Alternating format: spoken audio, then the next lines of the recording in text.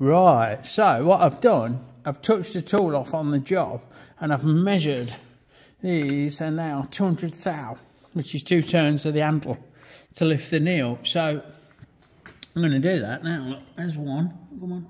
80, 100 thou. And there's two, 200 thou. So it's not crucial. We're not down to thous really, but you know, a lot of knee off. And now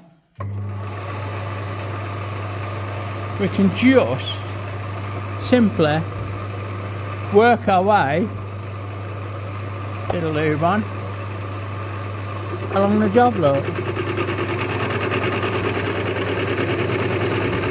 And this ripper will cut that. I'm gonna I'm gonna spin you around, stick you somewhere else. So get that there.